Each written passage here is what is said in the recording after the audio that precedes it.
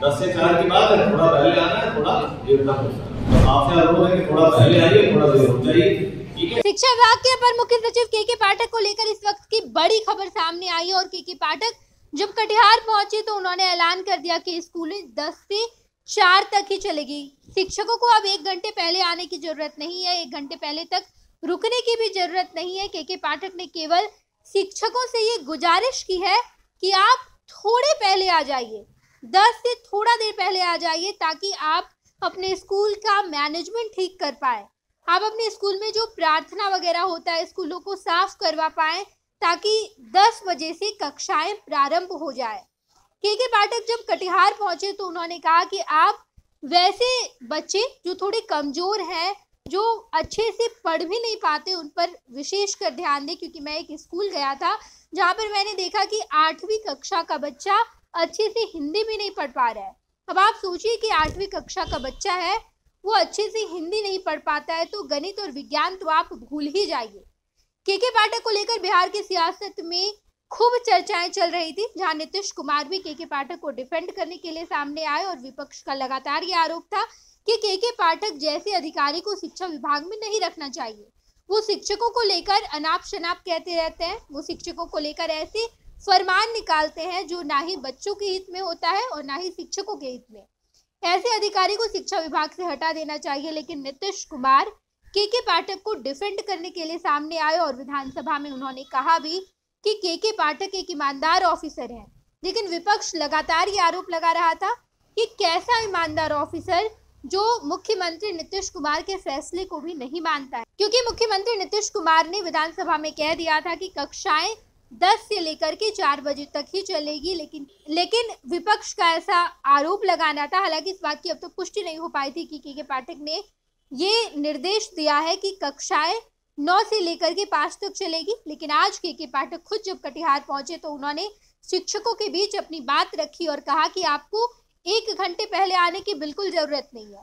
दस बजे से कक्षाएँ प्रारंभ होगी दस से चार लेकिन आप थोड़े पहले आ जाए ताकि बच्चे जब आए तो आपका स्कूल उनको ऐसा मिले कि वो आकर बैठ पाए, पढ़ पाए। स्कूल की जो साफ़ सफ़ाई है, वो आप करवा लें, स्कूल का मैनेजमेंट ठीक करवा लें, ताकि बच्चे आए और पढ़ाई कर पाए। के के पाठक जब आज कटिहार पहुँचे तो ये तमाम बातें कहते नज़र आए। आप के के पाठक के बयान को सुनिए और समझिए कि शिक्षा विभाग को लेकर बिहार की सियासत में जो चल रहा है, के के पाठक को लेकर बिहार की सियासत में जो चल रहा है वो कितना सच है और कितना अफवाह है।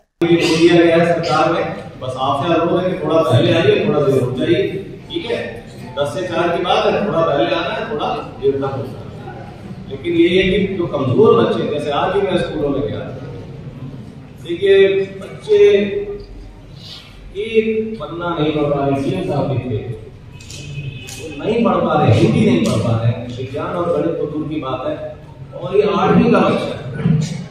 आठवीं का बच्चा देखिए अगर नहीं कुछ पढ़ पा रहा है। ये ड्रॉप आउट आपने देखा कि के के पाठक लगातार ये कहते नज़र आए हैं कि मैं ये नहीं कह रहा हूँ कि नौ बजे से लेकर के पाँच बजे तक कक्षाएँ चलेंगी। क्योंकि पाठक केवल इतना कह रहे हैं कि दस बजे से लेकर के चार बजे तक ही कक्षाएँ चलेगी, लेकिन वैसे बच्चे जो आठवीं कक्षा में होकर के अच्छे से हिंदी नहीं पढ़ पाते हैं, उन पर आप लोग विशेष ध्यान दीजिए। जब चार बजे सारे बच्चे चले जाएँ तो आप थोड़ा उन्हें पढ़ा दीजिए। ताकि वो भी बाकी बच्चों जैसे मज़बूत हो पाए और हिंदी, अंग्रेज़ी, साथ ही साथ गणित और विज्ञान भी पढ़ पाए। के के पाठक का ये बयान, राजनीतिक गलियारे और बिहार की सियासत में लगातार जो अफवाह फैल रहा है, उसे कम करने के लिए, उसे खत्म करने के लिए काफ़ी है। के के पाठक ने कटिहार में ये साफ़ कह दिया कि कक्षाएँ 10 बजे सुबह से लेकर के शाम के 4 बजे तक ही चलेगी, लेकिन शिक्षकों को थोड़े समय पहले आना है। ताकि स्कूल का मैनेजमेंट ठीक करवा पाए, स्कूल की सफ़ाई कर करवा पाए और बच्चे जब आए तो वो पढ़ पाए क्लासरूम में। और शाम के चार बजे के थोड़े बाद जाना है ताकि वैसे बच्चे जो कमज़ोर हैं, जो हिंदी भी अच्छे से नहीं पढ़ पाते हैं, उन्हें वो विशेष पढ़ाई दें, उन्हें वो पढ़ाएँ ताकि वो मज़बूत बच्चों के साथ बैठकर पढ़ पाए और हिंदी के साथ साथ बाकी तमाम विषय भी पढ़ पाए। पनोरमा ग्रुप जो सोचता है, वो करता है। ये लो मुँह मीठा करो। आज मैंने अपना जॉब छोड़ दिया। अब हम पूर्णिया वापस जाएँगे। जॉब छोड़ दिया है? मतलब? ये घर कैसे चलेगा? हम करेंगे क्या? और माँ बाबू जी क्या बोलेंगे? इसलिए मैं एक और मिठाई का डब्बा लाया। अपने बिज़नेस के लिए लोन अप्रूव हो गया अरे लोन अप्रूव हो गया वो तो ठीक है लेकिन पूर्णिया में हम रहेंगे कहाँ? अपना घर भी तो नहीं है वहाँ। इसलिए तो एक और मिठाई का डब्बा अलग से लाया हूँ। हमने पूर्णिया में घर ले लिया है। पूर्णिया के ई होम्स पैनोरमा में। पूर्णिया में पैनोरमा ग्रुप लेकर आए हैं। ई होम्स पैनोरमा बड़ा घर आलीशान ज़िंदगी और अत्याधुनिक सुविधाओं के संग। अरे अरे अब क्यों मुँह मीठा करवा रही हो? क्योंकि हम घर वापसी जो कर रहे हैं।